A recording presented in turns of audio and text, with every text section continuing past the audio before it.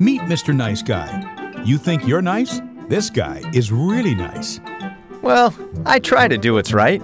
He's so nice that if good people get to heaven, he'll be the first in line. Ah, shucks. So, Mr. Nice Guy, have you kept the Ten Commandments? Pretty much.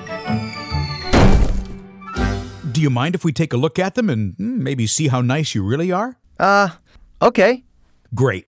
Here's one You shall not lie. Mr. Nice Guy, have you ever told a lie? Well, yeah, who hasn't? What do you call somebody who tells lies? A liar.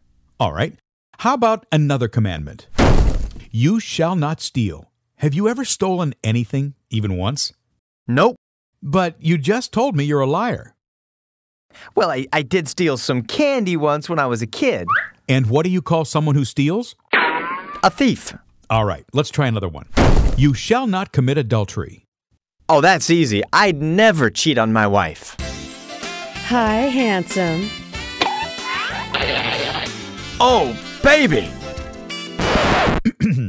Jesus said, If you even look at a woman with lust, you've already committed adultery with her in your heart.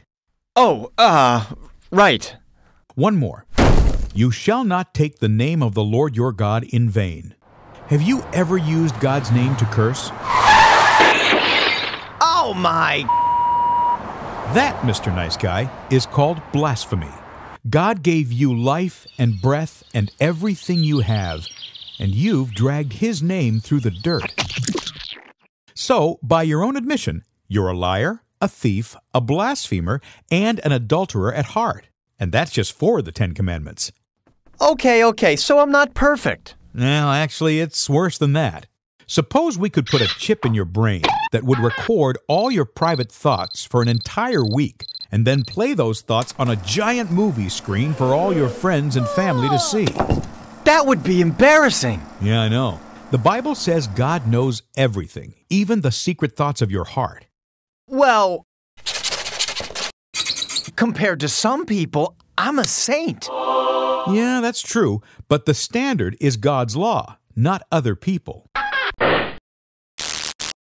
Besides, even if you sin just five times a day, in one year, that's 1,825 sins. And if you live to be 70 years old, you'll have broken God's law over 127,000 times. You'll have to answer for every sin on Judgment Day, when the Bible says each of us will give an account of himself to God. But God'll forgive me, right? Well, let's try that in court. Hey, look, I know I keep breaking the law, but hey, catch up, well, you know, just let it slide.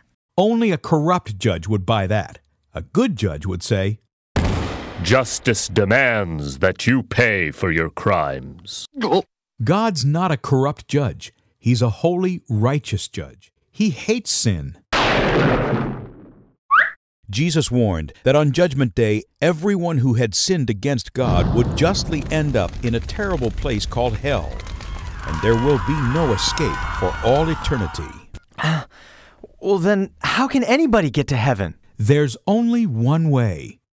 God loved the world so much that He sent His Son Jesus to live a perfect life. He never sinned, not even once. Then, Jesus offered to take the punishment for guilty sinners. He was whipped and beaten and nailed to a cross and died so that justice would be served and sinners could go free. Then Jesus rose from the grave and defeated death. You can't earn eternal life. It's God's gift to everyone who will humble themselves and come to Jesus. He'll forgive you, wash you clean, and give you a new heart with new desires. The Bible says if anyone is in Christ, he is a new creation. So stop living for yourself, turn from your sins, and come to Jesus. Then read your Bible and obey it. Find a good church to help you grow, and then go out and tell other people the good news.